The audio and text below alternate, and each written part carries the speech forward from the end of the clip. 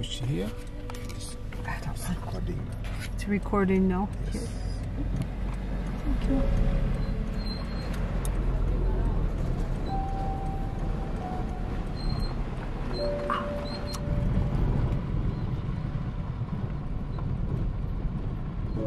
Well, we were riding to one of the faraway places, and I saw people walking as far away as you could see, pushing carts or riding bicycles with those big jerry cans. And they were all coming to one little hole. And I asked if we could stop and, and look. And way deep down in that one little hole was dirty water. And people were coming every day to get enough to survive. So I listened to the stories and looked at the faces. And we got back in the car and continued our trip. And I, I said, This cannot be God's plan.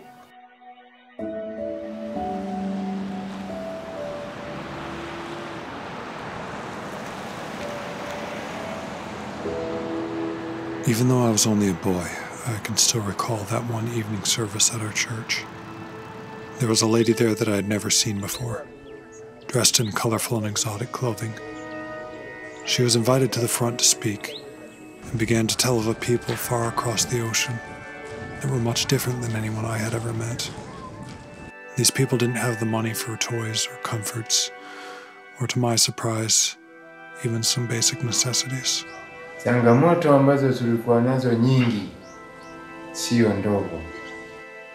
Ila zilienda zinapungua pungua. Tulikuwa shida ya maji, tulikuwa shida ya kanisa. My heart started to feel moved. But I must have only been about 10 or 11 years old. I had no idea what I could do to help them. She then mentioned how the children were once given stickers and how they immensely enjoyed them.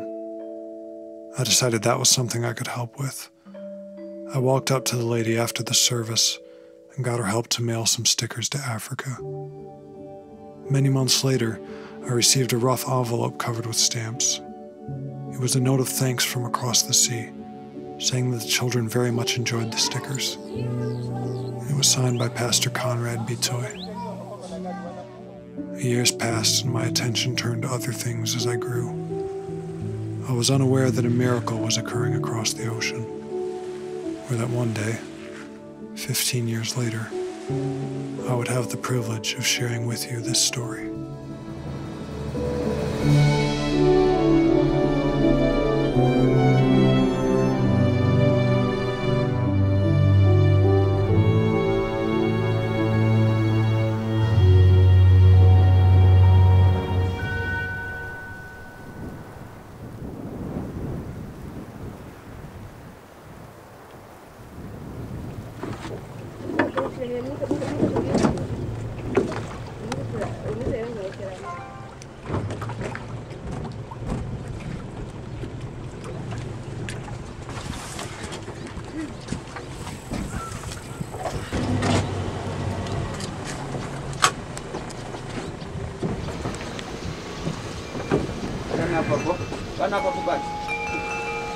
I don't remember ever thinking once in my whole life that I hope I get to travel someplace for missions overseas. In fact, yeah, I just don't remember once ever feeling called to missions. What I was doing is I was at a career that I loved at the intermediate school district coordinating preschool. My grandchildren had moved close enough for me to be able to visit them more often. They were in Chicago at Great Lakes. I'm hoping I'm making a recording, but I can't see because the sun is so bright. And I was far from financially ready to retire. So I was introduced to a man at a funeral dinner who works in Papua New Guinea. And he invited me to come along with him on a trip because they needed disability expertise. And I said, Oh, absolutely not, ever. There's no way that I'm thinking that's part of my life. And I remember watching a video of this man's previous trip, and there were twins who were physically impaired, had a physical impairment, and the parents were talking about what that was like and their challenges.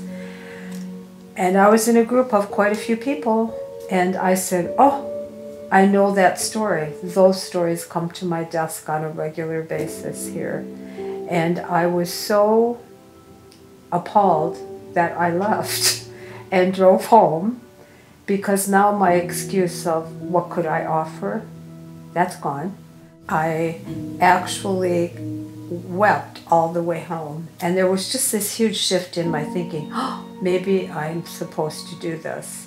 I still had no sense of a desire to do it, but perhaps a stronger invitation.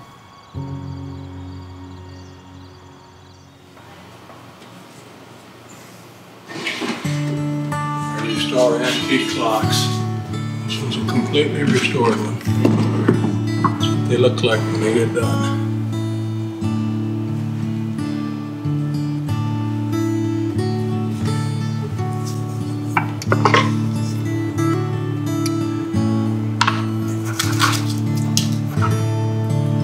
So, how long have you been doing woodworking? Just about 60 years. I was going to get, there was something, someone needed something. I can't remember. Maybe it was a vehicle or whatever. And I thought about it and I thought, well, I'm going to be, I'm going to be generous here. And I'm going to give $200. And immediately, God interrupted that. And he says, 500, you give $500. And I, I backed away and I said, "No, no, that's not right. That's that's too much. That can't be right." You know, I, I didn't dream that it was God. I thought it was. I didn't know what it was. And not long after, we were at our 15 year celebration of a Bible study group. And a lady who no longer even lived near here came back for that celebration. And she said to me, Every time I drive by your house, God tells me to give you this portion of my tithe from my parents' inheritance. It was $3,000. And she said, it's for your ticket to Papua New Guinea. And the ticket was 3080 at that point at that time. And it took me about two weeks to come up with that $500. I mean, I finally decided because I because you know it, I couldn't get rid of it. Mm-hmm. So I put the 500 in. And it happened about four times. And I remember saying to her, I did not say thank you or bless you. I said, oh no, I have to go. And then the last time, uh, I was giving to a group that was buying Bibles, you know, to distribute.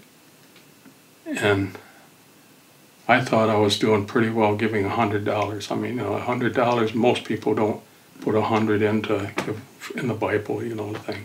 Mm-hmm. And God said, uh, now that I know it's God, He says, uh, put a thousand in. And I didn't even question it. Matter of fact, I told God, okay, I'll put my hundred in. I'll put nine hundred in out of your money. That's just what I said or thought. So that was the last time I think he figured that I was trained. And so God removed both my feeling I wasn't have anything to offer and the financial piece in such unmistakable wor- ways that I knew this I, I knew without a doubt oh I have to go. I have to go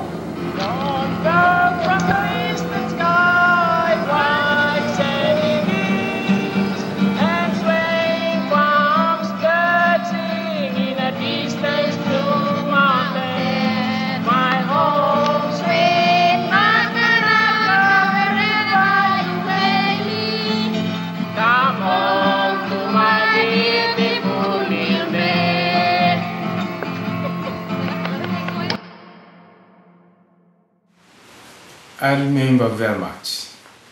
I remember I was at uh, the Bible College and uh, I studied very much and I was so happy. When I was there, uh, we were given something I can say like a test. I and other pastors, we were told that uh, everyone, in order to graduate, he or she must plant a church, two churches in a village, or one church in town. Well, Carol was working that day. It was July 4th, 2005, about 1 o'clock. And I was sitting in that chair and I was, we were, had already decided that I was retiring early. I had heard about this place in Arkansas, uh, an enclosed village, had its own Walmart just across the street and everything. It was, it was the nation's largest uh, uh, area like that. It had like eight lakes and seven golf courses. The challenge was uh, buildings. Many, many of the church I was planting were worshiping outside and the trees shaded like this. So we had been there and we looked at some houses and I thought, well, you know, this we can do this. And Carol had been after me because she didn't like the cold. She says, I, I want to go, I want to move south in the winter, you know. And I told him uh, my principal. I have now new church, two churches in village and one church in town, but I'm so sorry. I don't know how we will get church buildings. He told me to keep praying and he told me that he will be praying also with me. I was getting ready to retire in that chair. I mean, I was getting everything worked out in my mind. And I was, thought I'd be done, less than a year I'd be, we'd be done. And uh, just out of the blue, uh, I heard this voice speaking. God said, uh, "You are to build churches." That's that was a strange. I mean, I thought I don't even like tell people that because it sounds so strange. sounds strange to me. and I sit there for a second, and I says, "No." I said, "No, I'm I'm all done. I, I I'm retiring. You know, I'm I'm all done." And I stood up right there, you know. And God came back again, and He said, uh, "I care not only for the people in your country, but I care for the souls of men everywhere." So what that what that did for me is told me that I wasn't going to build churches here. So so that was the end of that. And then I was thinking of how I was going to get out of it. So there was a kind of struggle to accept that. What's that? There was kind of a struggle to accept that. I think anybody'd have trouble, wouldn't they? Yes, definitely. Yeah. And how long did you say it took you to kind of to fight through that before you lost that one? A couple hours, two or three. When Carol got home, it was all over. I had mm-hmm. to go tell her. Of course, I wondered. I really wondered what in the world is she going to say? She's wanting this place down there, and I told her, "Okay, we'll go." And now we're not going. Can't go. Can't go both places and do this, do it all, do everything. So I told her about it. I said, "What do you What do you think about that?" And she says, "I think we ought to do it." So it's fifty percent her her doings too. You know, without her, we couldn't have done it. I think I was working that day and I came home and they told me. Mm-hmm. And so I was kind of surprised that this was going on. And he says you were very supportive of the idea. Oh, yeah. Oh, yeah. People in our church need to be supportive of each other, and especially husband and wife. I didn't talk to Russ, but from his res- from her response, it seems like he's really happy to talk. After filming Jerry's interview, we had the chance to sit down with Pastor Russ Atherton, who was pastoring in Evart when all of this began. He was currently enjoying some time off at Manton Christian Camp. I was touched by the lovely and tranquil atmosphere of the campground. It felt like the perfect backdrop for recalling this story about how God had built his kingdom. We asked Russ a few questions about his experience with Jerry and how the partnership with Tanzania came about. And I probably would have to confess that there were probably times he came in, you know, and had these ideas, and I'm thinking, I don't want to discourage him, but you know that that sounds a little far, but yeah. Sometimes we just have to open up and say, okay, yeah. So there, yeah, there was a lot of God stuff going on. The church in Evart, uh, the pastor's office is right at the main entry, and uh, the window to, to my office looked out over the driveway that, that came in and the carport that people would park under as they were uh, unloading their cars coming into church. And uh, I was in my office there. I remember studying. I can't tell you the exact day, but I can remember uh, a car pulling in, and it was one of our guys, uh, uh, Jerry Reedy, uh, fairly quiet fellow. And when he came in, our, our church was always mission minded, and we had pretty much focused on our church stuff. Jerry come in and, and started talking specifically about Africa. And, uh, um, you know, first I was a little nervous, I suppose, but um, one thing that I've learned in ministry is you never want to discourage anybody um, from something they sense God is calling calling them to do. Of course, part of the call of God is that it's always going to be in line with everything that God is doing. You know, if somebody gets a sense that God is calling them to do something that doesn't quite fit in line. Um, we want to look at that very, very carefully. Mm-hmm. And so when Jerry came in, you know, I, I didn't know exactly where it was coming from on that. And so the, the first part of it was to to hear his story. You know, it was the kind of thing that God really settled it on his on his mind. And that's often the way God does a call, you know, that there's so many things going on in the world, so many areas, directions you can get pulled. And uh, this was a very definite direction that Jerry was being pulled. I wanted to find out, you know, what, where I was supposed to get started.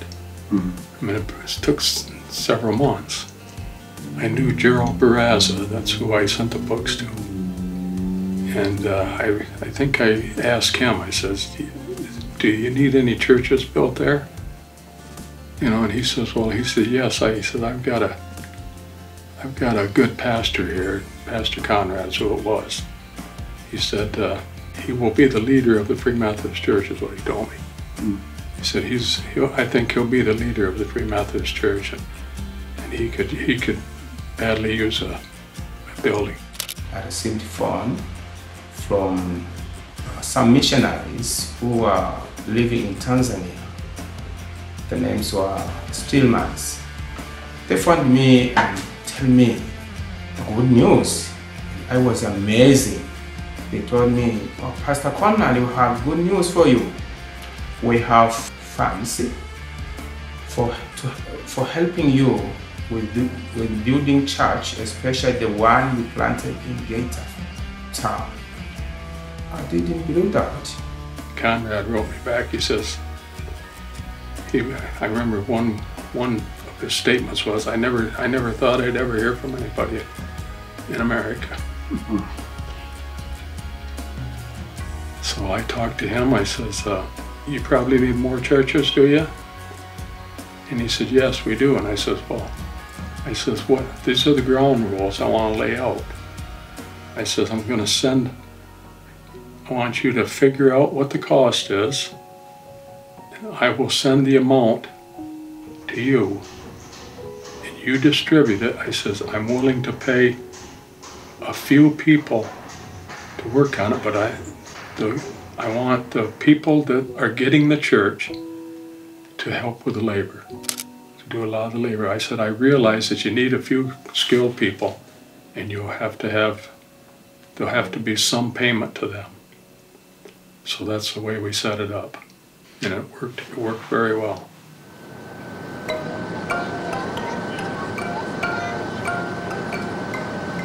About three months after I came home, I was invited to go to Ethiopia. And I said, no, God's called me to Papua New Guinea. And so I went to Ethiopia for three trips. And I was planning a third trip.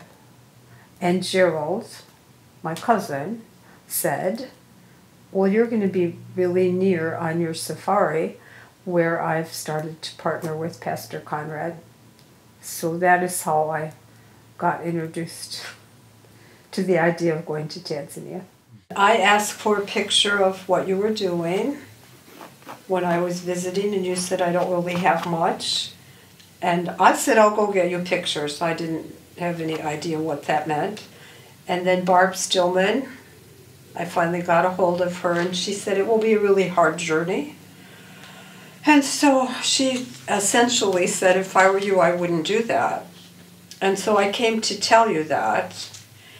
And before I could say anything, you said, God told me to give you this money for the airfare difference between where you're going to be and where Pastor Conrad is. And you said, I told God I was done giving this year, but He said, give her this. And I immediately didn't like you very much because I was like, I can't say no now. And I came here to tell you it was too hard and I wasn't going to go. And You, you should not like me. I'm not. I'm. I was just a messenger.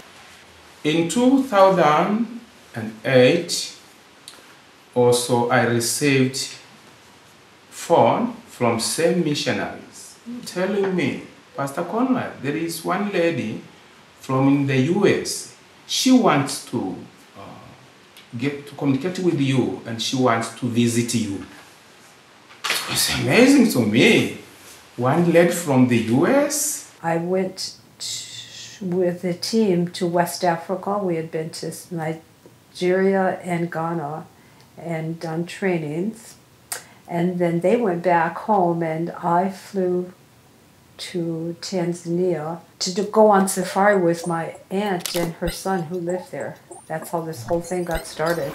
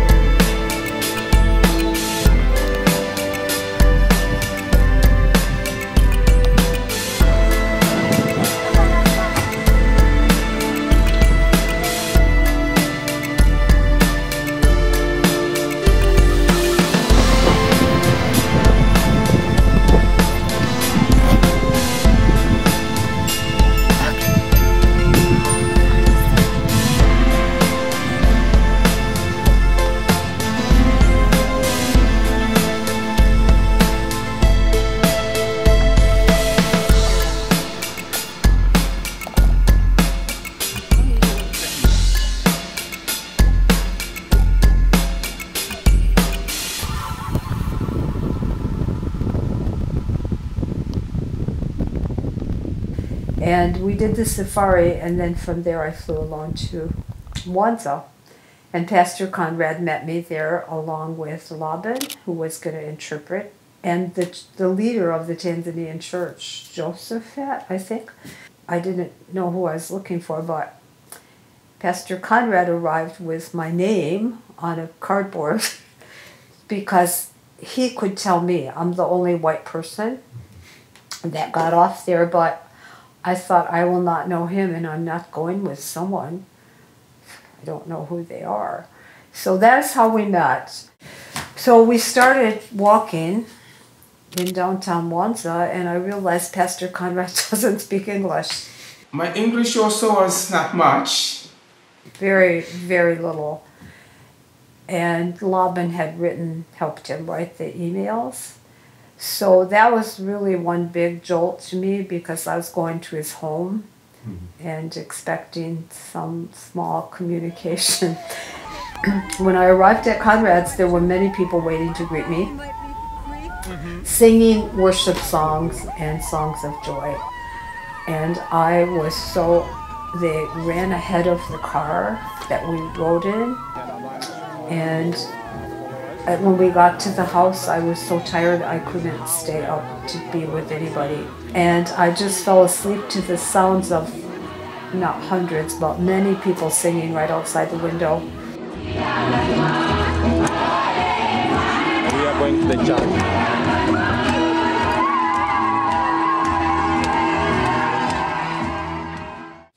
So what I saw with the churches, except for the one that Conrad was pastoring, there were piles of bricks, benches.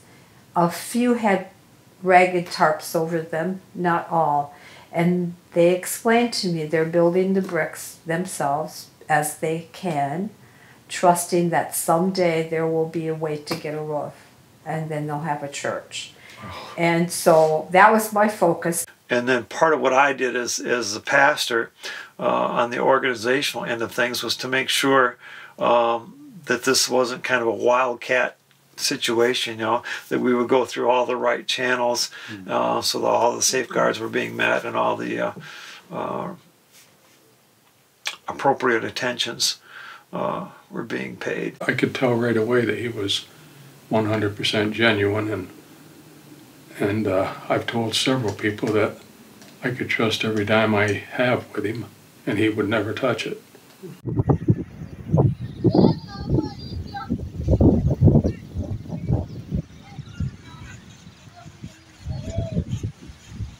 Believe the second or third church we did, Conrad wrote me and told me that this family, they, you know, they've, they, they don't have a house, and it's going to be very difficult for them to, to pastor the church without a house. So we had to build that house separately. I think we did one other one separately.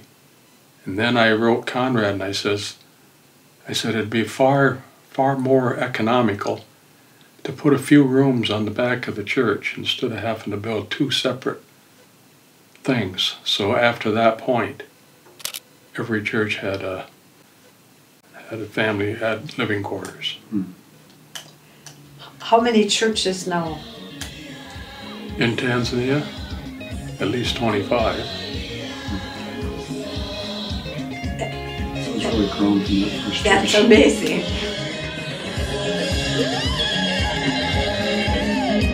church. amazing. None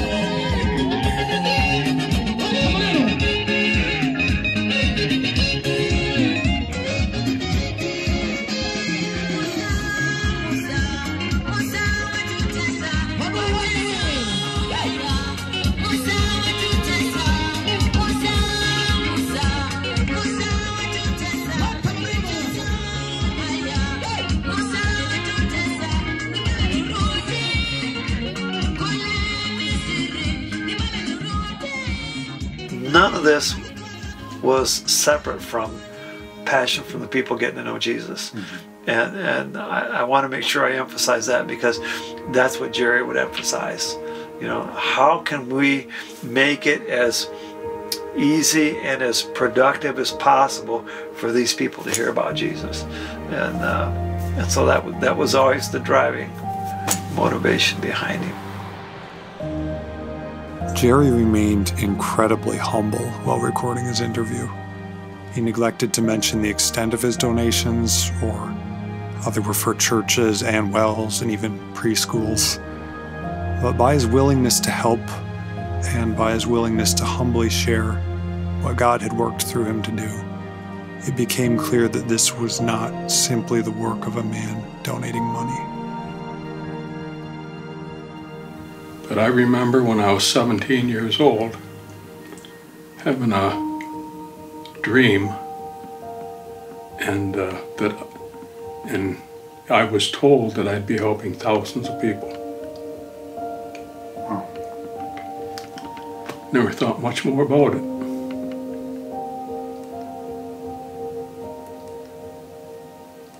It didn't necessarily mean Africa, but that's what I what I, I never forgot it.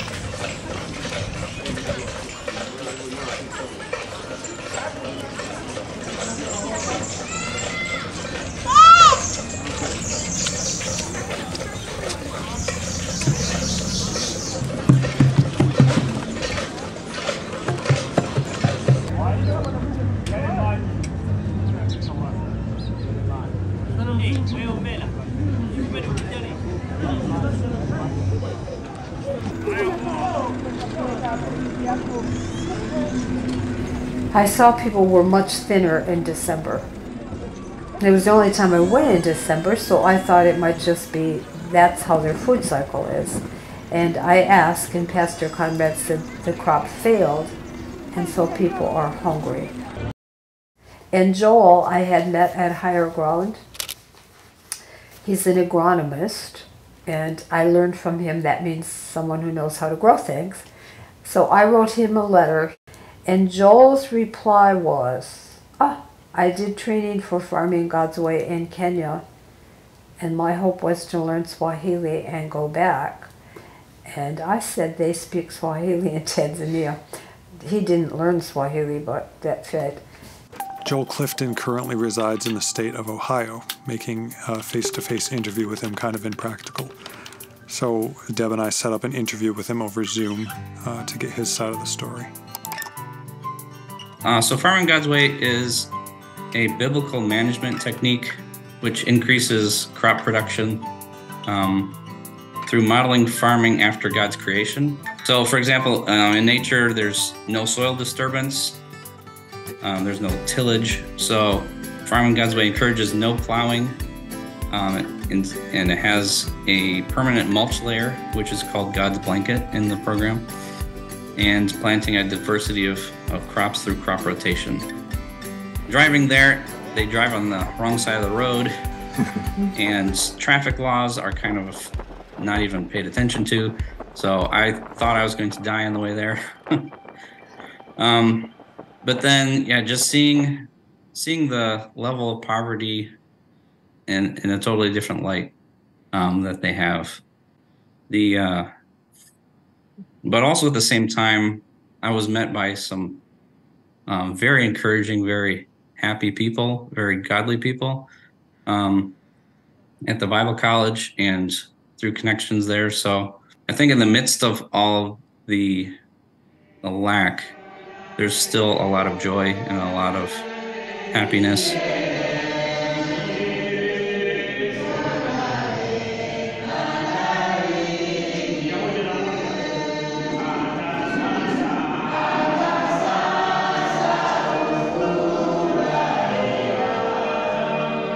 Were some road bumps and some hurdles to get over. Uh, we had some technological difficulties. Uh, I was thinking that I would be able to do more with with a computer than what I was able to, but it, it really worked out in the end because of just how much uh, support and planning there was ahead of time by um, Pastor Conrad part of farming God's way isn't just a classroom. It's going out into the field and actually doing um, doing what they're being taught. So we were out there digging holes and planting seeds and watering, and we were able to incorporate a few other things, um, some some skits and some side lessons that I felt were applicable to farming.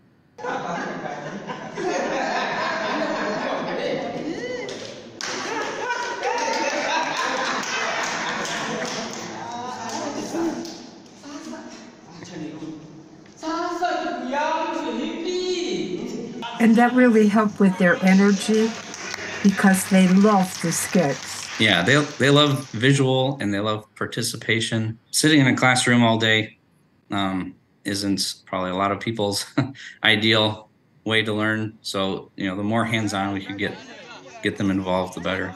I'll ask you this right now: what is what moment in particular stands out from the whole process in in Tanzania as your favorite memory? What was what was a really high point in that journey? I would say at the end when we had a um, as kind of a mini graduation ceremony. um, we we had certificates printed off with each person's name and handed them out to each individual who took the class, and there were 40 people in the class. Um, and there was a full-on celebration with singing and dancing and everything.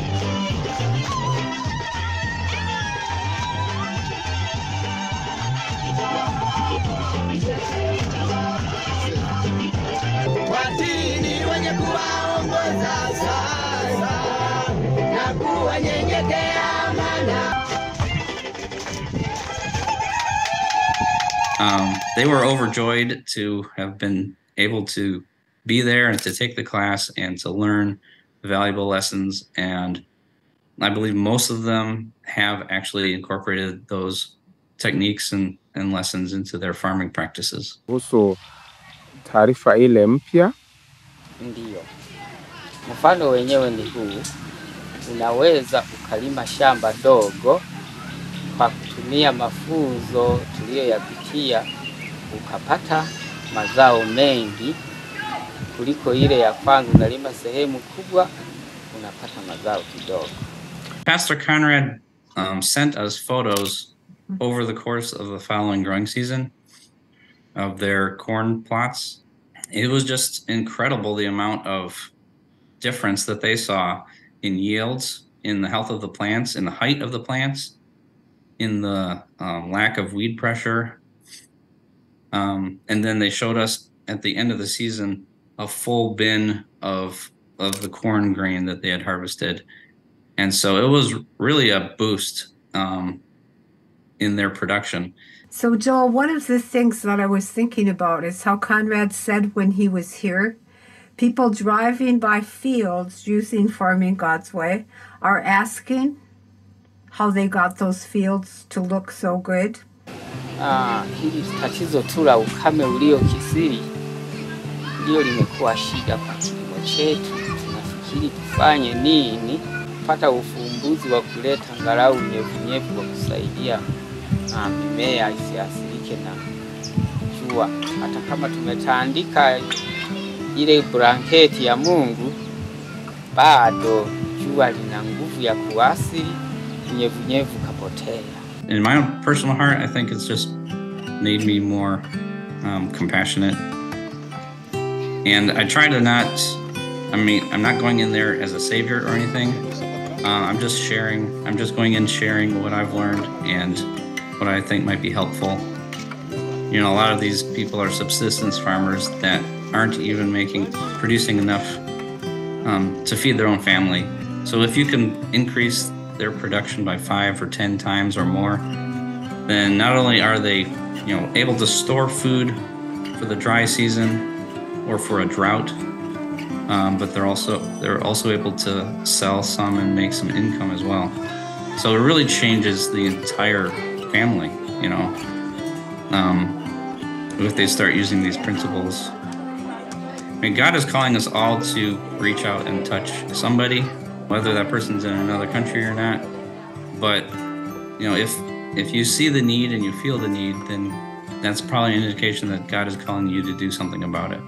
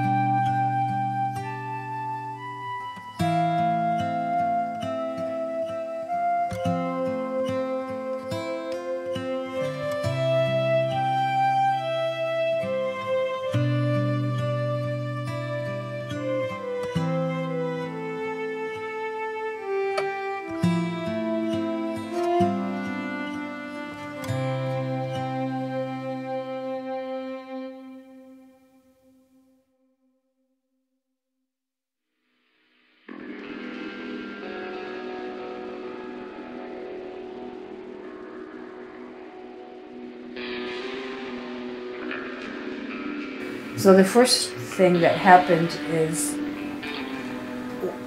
Pastor, well, we were riding to one of the faraway places, and I saw people walking as far, this is on the third trip, people walking as far away as you could see. And they were all coming to one little hole. And I asked if we could stop and, and look. And way deep down in that one little hole was dirty water. And people were coming every day to get enough to survive. And we got back in the car and continued our trip, and I, I said, uh, This cannot be God's plan.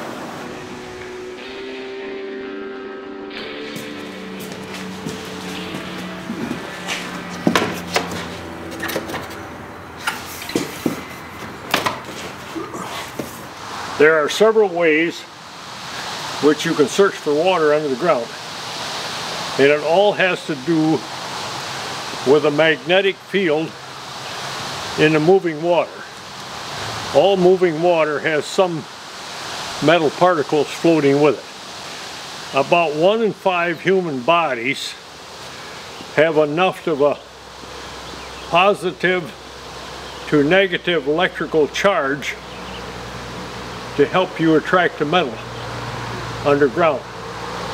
And one of the tools that you can use for that is a plain old handsaw and you hold it on the blade end and you start walking slowly and when you find water the end of the saw will start to bounce. So it's going to be quicker to go over this way if you want to follow me. Well, if you walk, walk slowly.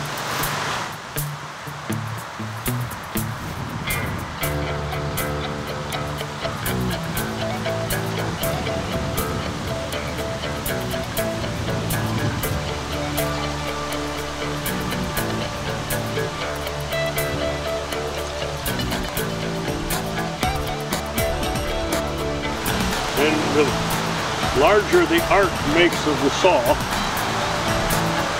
the more water there is below that. The well on the farm where I grew up needed to be replaced, so they had a well driller come in and he drilled a well. I would run all the way home from school every day to watch this whole thing going on. I was so impressed with it.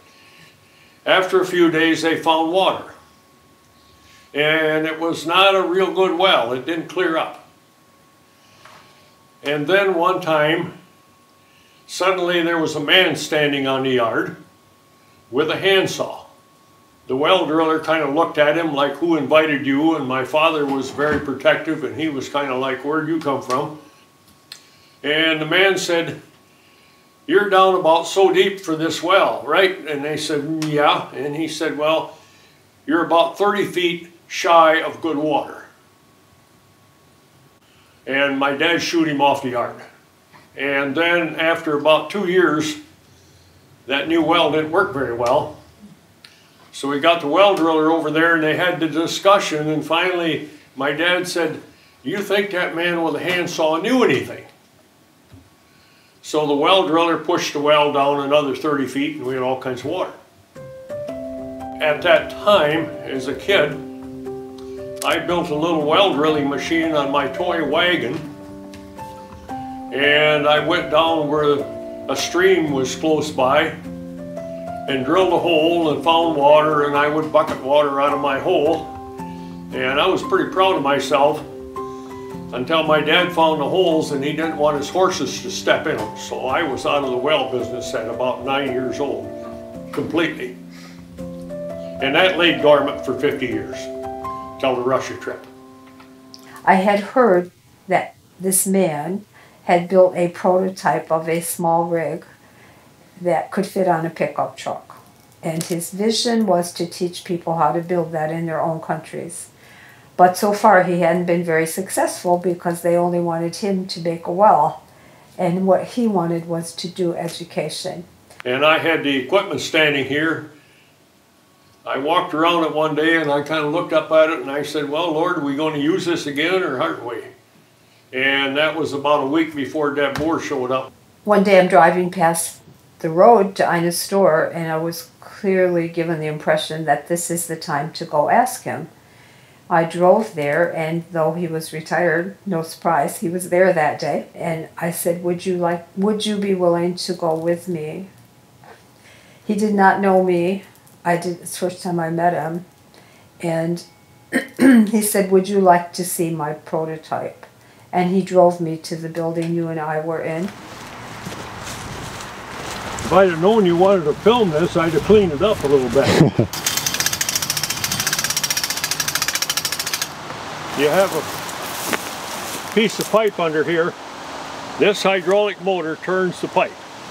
And explained all the parts and the pieces and the process. And I understood none of it whatsoever. But I thought I must, must be interested because we're building a partnership here. One man came from the US with some equipments and some we bought here, some we traveled to Uganda by them. And that man trained our people.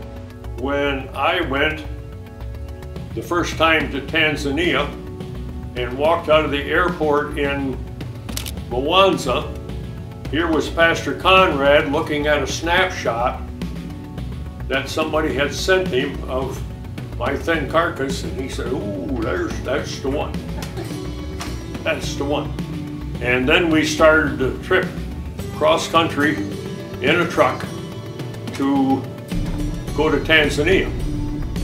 However, the driver of the truck only assumed that he had to take us to Bukoba, not all the way to Geita. The result of that trip, in the words of my son-in-law, was, I have been on the road with you seven days. I have slept in five different places and didn't have a bed the other two nights. And, but we finally arrived in uh, Geita to find, uh, I don't know, 15 church leaders, and I don't know how many had uh, been sitting there for three days waiting for the arrival. I, I do not forget your message about the hairs on your head for the children. And I don't know if you can describe that at all, but hundreds of children. In the Bible, it says that the hairs of our head are numbered. So, to make a quick explanation for children, you can say, you know, there's a God that loves you so much, he knows how much hair you have. So, just rub your head and you you know you're loved. I decided to use that along with passing out a piece of candy. And when I explained it to whoever the pastor was in the church and an elder that was there, they said, Oh, we're going to have to do crowd control for you on this, or this is going to be a mob. so I want to remind you lakini nataka nikukumbushe ni, ni you continue to believe that God is your Father. kwamba uendelee kuamini kwamba Mungu ni baba yako and that he loves you tremendously. na kwamba anakupenda kupita kiasi. So all you have to do is rub your head. Kwa hiyo sasa, sasa hivi naomba uweke mkono kichwani hivi, ufanye hivi That God loves you. na ukumbuke kwamba Mungu anakupenda.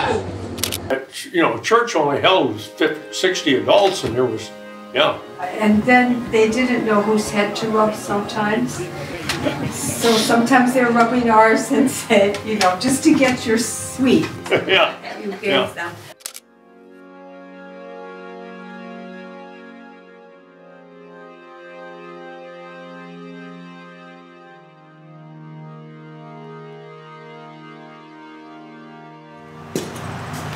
These are different drill bits which spin around like this in the hole, stir the soil loose. The water is pumped out the bottom and pushes up to take the material out. These things work in the United States, but they did not work in Africa because Africa has a solid layer of rock instead of many small rocks. We went back with this rig here. This is a small, what's called a rotary bit. And as it goes around, these wheels turn. And these little pins are plated with diamond so that they can actually grind the rock up. And this is the type of bit we have to take to Africa to make a hole.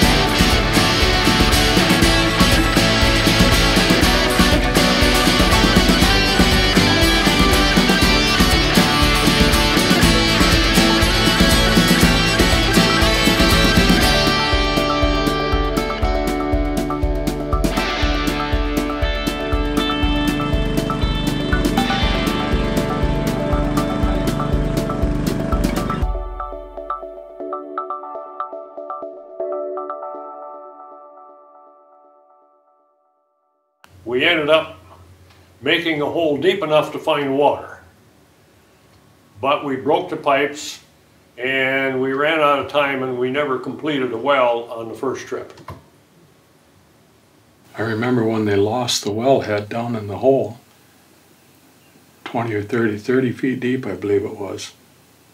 And uh, I had just talked at the church to get them to want to do wells.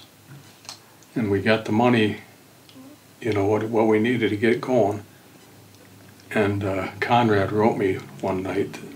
He said, We've lost the drill head. He says, 30 foot underground. And I'm, I'm sitting there wondering, I may have to I may have to leave this church now because I had talked him into, you know, getting several thousand dollars came in to do this, and I may have to make a run for it because, you know, this is not going to play well. Uh, What I remember, how sad it was when they kept breaking. Everyone was so invested in it, everything was going so well. Mm-hmm.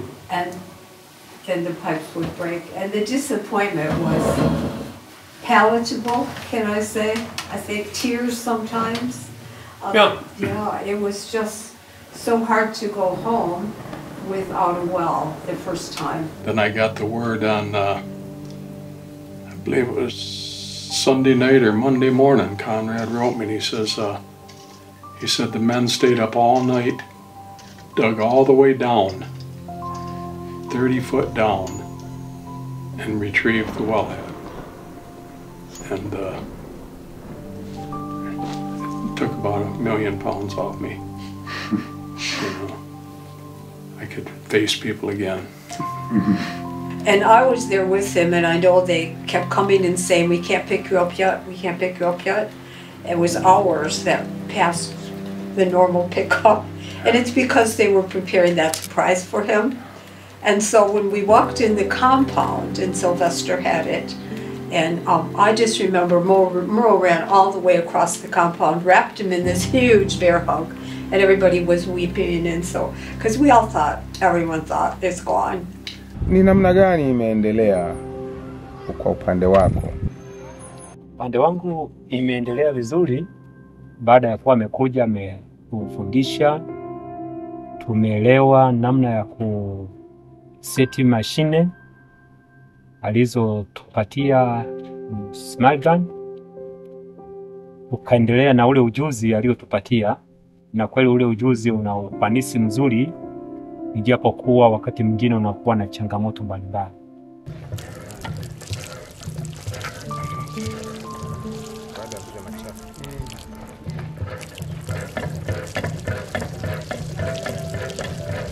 Is something wrong? It's okay? It's okay. All right.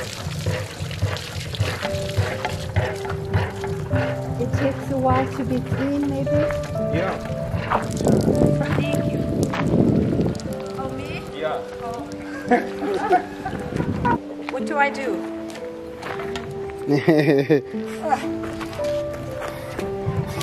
Whoa! We have water. You have plug out? Finish? Thank you. Naona hizo lori zilikuwa zina mafuta. Tunaona. I want to call Merle and tell him what you did. Nataka kumpigia Mal Mere, tunasema nimwambie hiki mlichofanya. We will try today. Tutajaribu leo kumpigia simu. That first well, when we did that, and I drank a cup of water out of it, the people backed up. Right. You know, like I was going to fall down dead of poisoning because they never drank a cup of water out of a well. Right, right. And then he started pouring it on their heads with a pitcher. and they've never had that experience because there's not much water, you don't waste it. Mm-hmm. So that became a tradition. You have to do that every time a well was inaugurated. At one place in Musalala, when I was there, they call them inaugurations, the well inauguration. before we even finished the service on that day, I could see out the church window women coming with the tall things on their head to fill them with clean water and just laughing joyously as they were pumping clean, fresh water.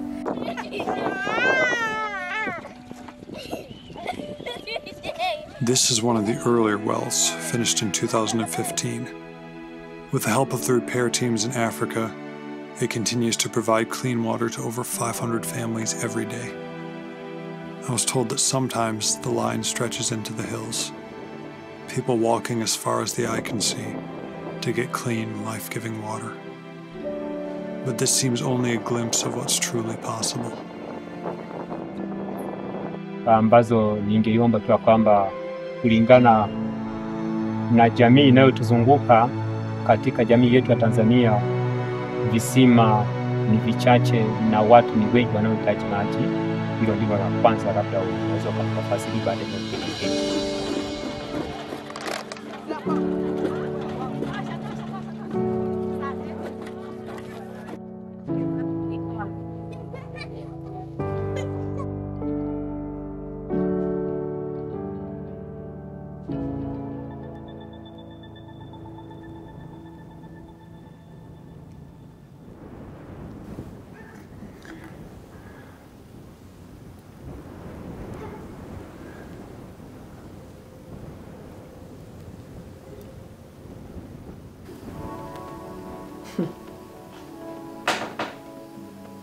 when Conrad was planning, we were planning his trip, I said, Are there things you would like to see? And he said, I'm not coming to be a tourist, I'm coming to work. And I suggested we should at least see Lake Michigan and the Mackinac Bridge. So here they are on a very snowy February Sunday afternoon, getting this iconic shot of the Mackinac Bridge. It's our second attempt. The first time we tried, there was a blizzard in Gaylord. We had to turn around and come back. And it was quite cute because he said, I have a new word, blizzard. In January of 2023, Pastor Conrad and his wife Margaret came to America to visit the Evart Free Methodist Church. They met with Jerry and Carol Reedy, Merle and Thelma Smulligan, Joel and Cara Clifton, Pastor Russ and Carol Atherton, and with me as well. Pastor Conrad gave messages and went on a statewide thank you tour, meeting the people face to face that he had worked with for so many years. And I told my wife, Debbie has phoned me and asking me if we are ready to, to visit them in, in her country. She told me, oh, are you telling me the truth? And I, I said, yes. This how she has told me. Conrad and Margaret brought lots of gifts to give their partners the Kitenge cloth and the tea sets. They traveled with seven suitcases, only one had their things. The rest were gifts. And, and so when, when we went up to the Evart for the for the gathering, and I didn't realize that my being there had really that much significance at all, but the, the gratitude and uh, and the gift that Pastor Conrad and his wife shared with us, that was that was very humbling. In fact, we took that it was that custom printed material, and we took it home, and I thought, what are we going to do with this? I hated to, to cut it up, you know, to, to make garments or something like that. You know, some of you were able to do that, and I, I couldn't do that. And so it's in our house, and it's and it's draped over a a, a bureau, a buffet in our uh, living room. We had uh, relatives over a few weeks ago, and and they noticed that that cloth, and, and on the cloth they had about uh, the association of the Evart Church and and the uh, the folks in Africa, and about the wells, and about helping the handicapped, and uh, had pictures of Bibles on it. You know, the, so understanding all the Bibles that have been made possible, and I don't remember there were some other things on it. People would look at that and say, "What is this?" So we, well, we got a chance to be part of something really great, and it continues to be great and greater. And of course, only God knows how good it's going to get. But the story spreads and spreads and spreads, you know. So. Again, over and over, he said, Some people have been to our country and loved us, but we thought it was just them. but we are loved every place we have gone. So the thank yous, like the Rotary Club said, we rarely get feedback from across town. And he has come 7,000 miles to say thank you and show us the results of our early donation to help with the preschool. So I think that was everyone's attitude, is just touching to be able to face to face meet with someone. You know, and, and that's with this kind of stuff, you know, that, well, it's just a water. Well, you know, God makes it way more than a water well. You know, like friends that we have, you know, oh, they're way more than friends. You know, in the kingdom of God, it just goes way, way beyond that. And we don't yet know how good that is. yeah.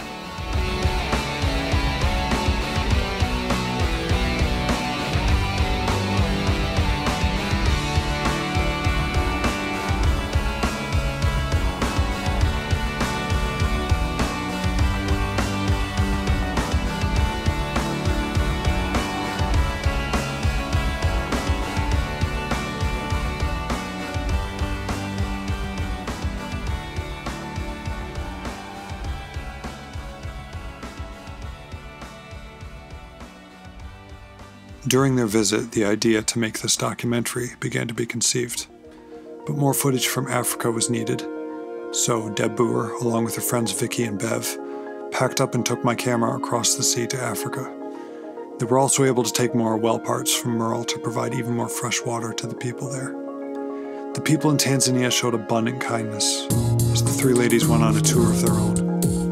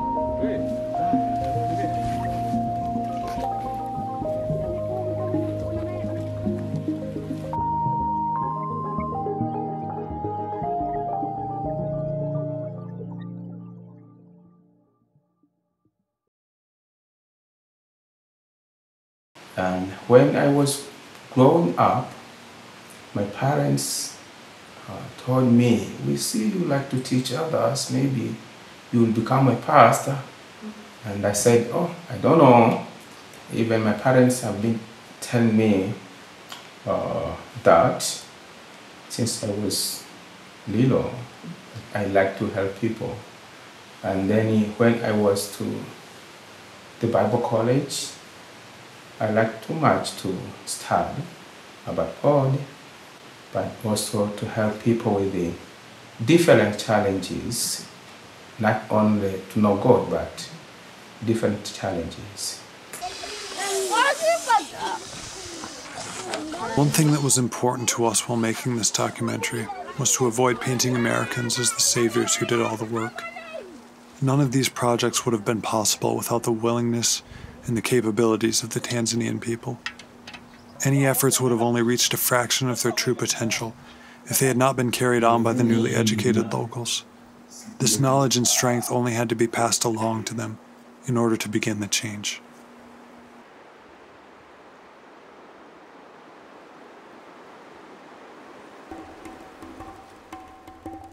Our people has been trained how to do other some things themselves, such like at the well project, they know how to use the machines, the rig, and uh, we we started with the one team, and since we have been continuing with that project, then we have two teams for well drilling more than 24 churches, more than 15 water wells, but also Bible college for training our people, but also preschool.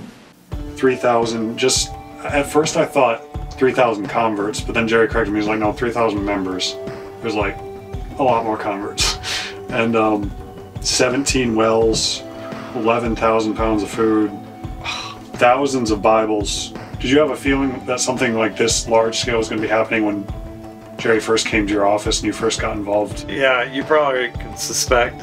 No, no. When Jerry uh, first came in with this, you know, I had no clue what it was going to become. And I suspect that happens a lot in, in the kingdom of God. You know, when he works with people, uh, they have no clue uh, what they're beginning, what they're on the ground floor of, of producing.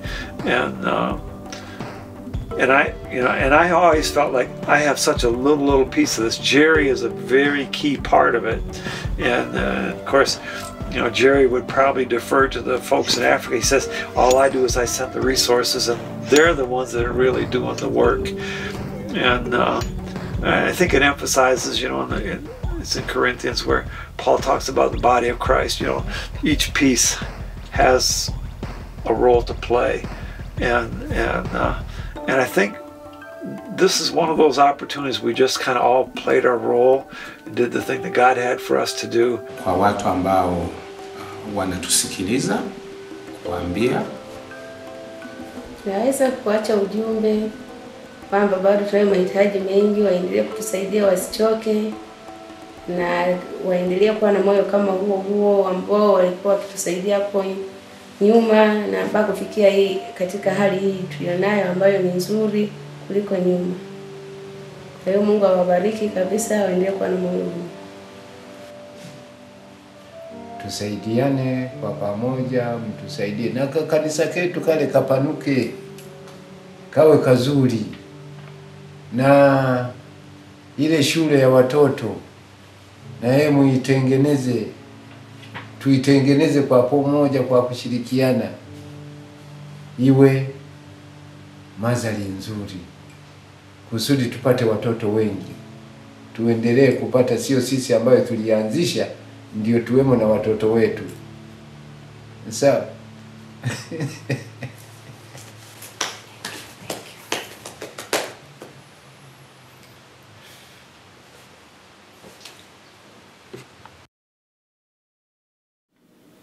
During the first week of Pastor Conrad's visit, um, I was tasked with making a video um, with the footage he brought from Africa um, to tell the story of what had happened in 15 years of, of partnership. Um, I had about 10 hours to get it done before it was supposed to be shown the next Sunday morning. I got to sit down and pull a very long editing session and see this entire story of 15 years in about 10 hours. And it was incredible to watch, and I felt called to make a documentary that was actually, you know, telling the, the, the real full story all in one place with, with all the participants. That was a very exciting idea to me for about two days. And then I realized the insane amount of work that that would take to actually do. There was about 50,000 files on these. Um, we had a stack of CDs like that that we lost, but there was two or three days of videos on those that we saved off of them. And um, I told Deb we absolutely have to get a picture of all of these files together because I was amazed when I saw them. I just wanted to show everybody that this documentary is being filmed by by many people before I even got involved. So um, many thanks to Pastor Conrad and Isaac and Deb for all of their filming and whoever else took part in filming 15 years of history um, for me to go through. I actually kind of enjoyed it. And yet I couldn't deny that I was still feeling called to put together the project in spite of all the work. So what I ended up doing was to help myself along, I asked each of the participants at the end of their interviews a veiled kind of question from myself. And it was, if you knew someone who was struggling with what God had called them to do, what would your advice be to that person? Um, and this is how they all responded.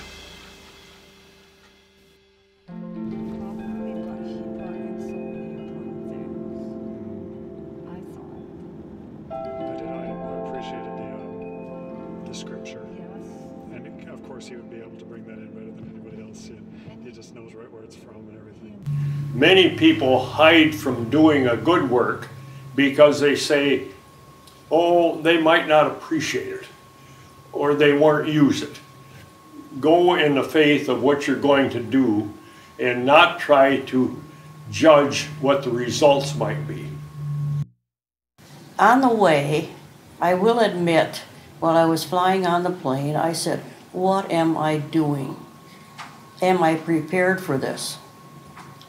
And when we got to Mwanza and we got to the bus station and I saw all those people and smelled the smells and heard the noise, and it was so hot. Again, I said, What am I doing here? but by the time we got to their house, it was fine. I'm glad my husband encouraged me. The first time he went, he said, I will take you back there sometime. And I'm glad he did. Well, it's probably the best thing you could ever do for yourself, for your life, is to say yes. So if you had the chance to to move away and live in what you thought you wanted in your, your retirement plan, you would you would give that all up to do this again. Oh yeah, this this house is more comfortable than that house would have ever been. I would just say, you know, get deeper into the Word, get deeper into prayer, uh, communicate with the Holy Spirit. You know, if your heart's for traveling to another country, that's awesome. Um, but if if you you know can support something, I, I keep seeing the church in decline, but at the same time, um, I see a lot of very faithful people going out and touching lives all over the world. So uh, I would just encourage people to get involved in what the Lord is doing because it's happening all over the place. Number one, do like Jerry did. He came and talked to me. You know, find the counsel of of somebody that you know is strong spiritually and is looking at God, uh, so you can clarify whether it's a God thing.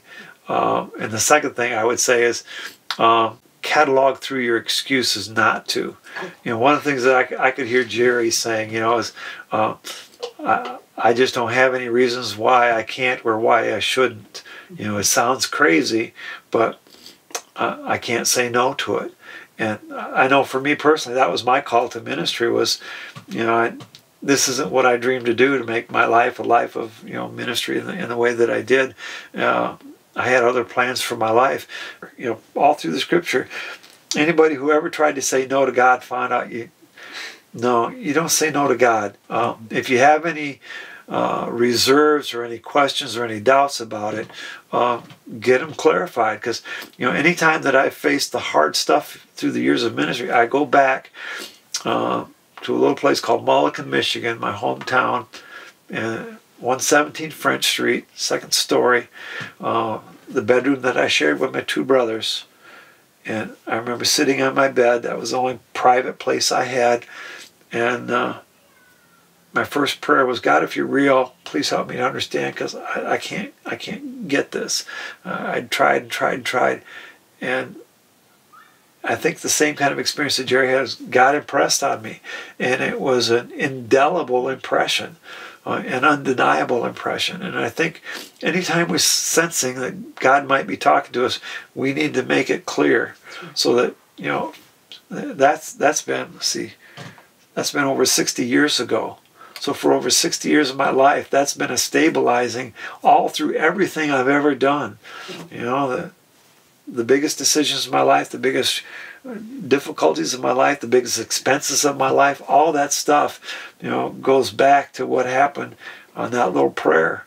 And, and I think I think we need to understand uh, what prayer is, you know, as far as making that contact with God and and uh, letting Him deal with all of our doubts. Because I think the thing that happens to people is, is they're afraid to totally open up to God because they don't know if they can trust Him, and that's really bad theology. You know, I somewhere I have to come to trust somebody, and who better to trust than God? If it's a fleeting thought and it's something you've always wanted to do, well, you have right to question that. But that was not at all the case for me. It lasted for a year, lasted for another six months, and it wasn't something I wanted to do. A friend of mine looked at an album I made on one of my trips, and she was flipping pages. Someone I worked with in hospice a long time ago. I said, What are you looking for? And she said, You look the same on every page. And I thought she meant I looked sick because I was very sick and lost quite a bit of weight. And um, I said, yeah, I know I was sick a lot of the time and you can see. And she said, no, no. She said, your face is glowing on every page. And it's because I had embraced the joy at that point of being in the place where I was supposed to be. So that's what I would say. Don't, yeah, don't let your, your excuses um, stop you from moving. Take the next step. Take the next step.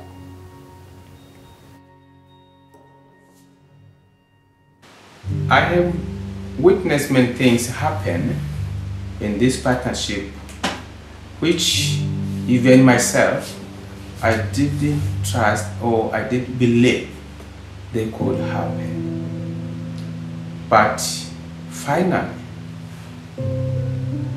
I found that God created people in good condition and asked people to love each other and work together for each other. So my message to people is if someone has called to serve God, he or she could not fear because he or she has been called to serve God's people and God will be with him or she to accomplish to accomplish what God himself wants.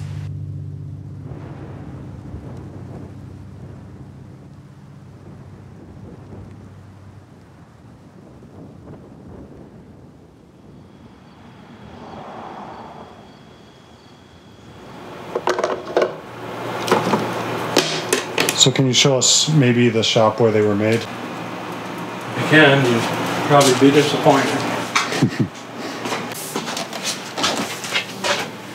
Not very good on stairs anymore.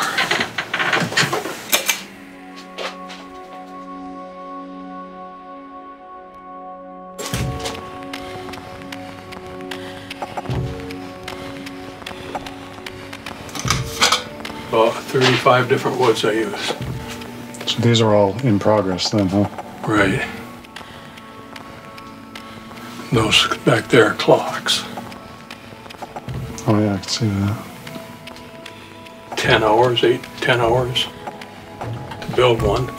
Restoring 5 to 10. Could you always do it that quick, or did it take you longer in the beginning? Well, you didn't know nothing at the beginning. That's what those boxes look like when they're done, see? Well, It's got the book book match bottom. It's Hawaiian koa. Rare stuff. So who taught you how to do the woodworking? Me? you just learned on your own, huh? Well, I went to wood shop when I was in high school. Hmm. From there on, I made a lot of mistakes and kept on going. Bird's eye maple. Another tough one. Yeah, you know, it took me 30 years or more to build this wood pile, and it looks like it's easy, but you know, you buy this here one piece at a time. Yeah. When you see one that's worth having, you know, like you look here, underneath here, you see all them pieces of stuff. Well, I gotta trim it all up, put it in them boxes, and then I make, I got enough there to make 50 or 60 of them, or maybe even 100. All the participants agreed that they had not planned on anything like this. And yet, a plan had become obvious. The plan of one who cared for women, children, and the disabled, and brought so many people together. Of one who brought life giving water to those who thirsted. Of a shepherd that guided his flock with words of truth. Of a husbandman who tended to his fields until they were ripe for harvest. Of a patient friend who offered support when things got hard. And of a carpenter that built his church slowly and surely, taking unassuming scraps and shaping them into what they were always meant to be. This person seemed familiar. Each of the people I spoke to seemed to look like him and glow with his joy and peace. I learned to know this planner as the one who could take a young boy's gift of stickers and transform it into a feature film. But do not doubt that he will be able to do abundantly more with your gift if you are willing to listen to his voice and follow him out onto the water.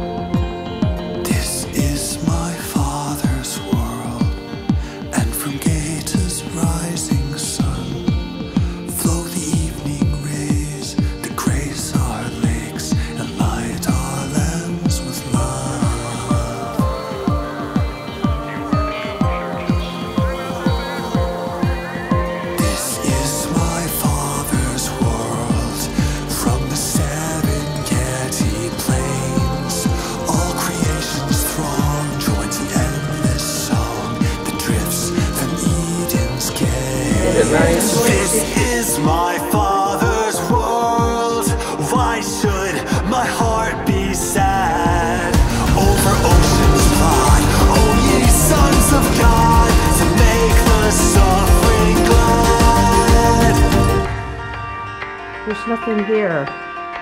Shouldn't we see something? Oh, I didn't take the lens cover off.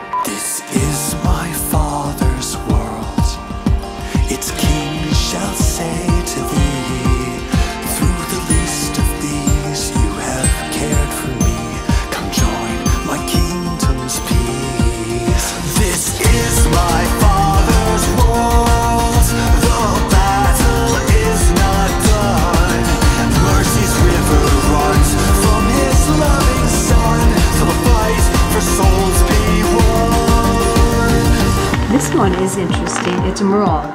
One of his gifts is he can sleep anywhere. And this is a very small bench in the compound. And he had a nice rest right there.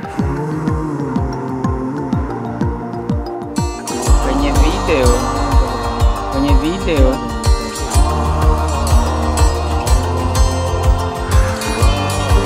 Whoa, it says I'm recording. not doubting we'll be able to do one hundred